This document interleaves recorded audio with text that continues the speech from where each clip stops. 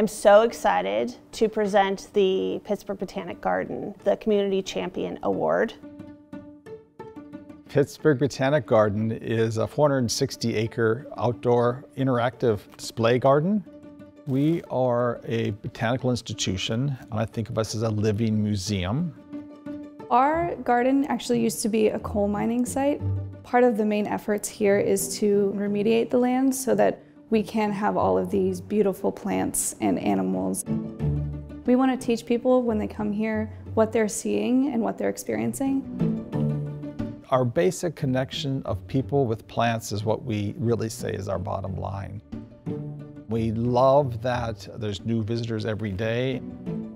Our members, our returning guests all thank WQED and Giant Eagle for the Community Champion Award. It's great for us to have that recognition.